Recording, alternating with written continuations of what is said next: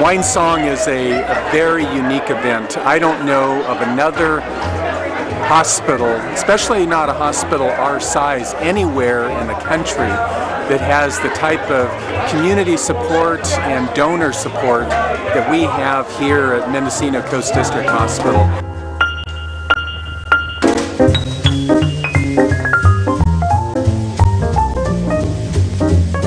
One of the unique things about this event is that you've got doctors and nurses that are waiting tables.